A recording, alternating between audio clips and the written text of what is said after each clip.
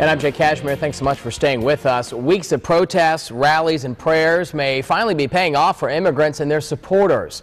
Reports of a compromise on immigration reform legislation are beginning to emerge from the state Senate. Whitney Ray is covering Florida from our exclusive Capitol News Bureau tonight.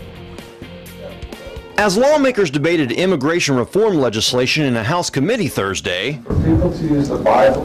Hispanic members of the audience dropped to their knees and began to pray. House Bill 7089 is reported favorably. The legislation passed the committee just two votes shy of being defeated.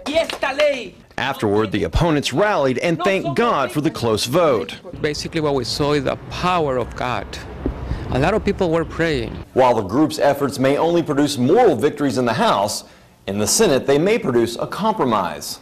Wednesday, as state senators prepared to take up the legislation that would pave the way for local law enforcement officers to act as immigration agents, You are the only King of Kings. a crowd of more than 100 began to pray outside the committee room, blocking the entrance. Erica Escamilla, a naturalized citizen living in Clearwater, is afraid the bill would lead to police harassment for people with Hispanic features. it's going to be uh, very, very difficult with our skin color um, to even like go out in the street. Senate debate on the bill was postponed twice.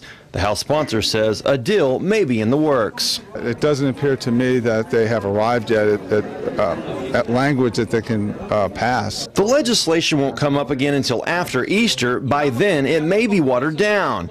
And the question will remain whether campaign promises are more powerful than protests and prayers. In Tallahassee, Whitney Ray, WPTV News Channel 5.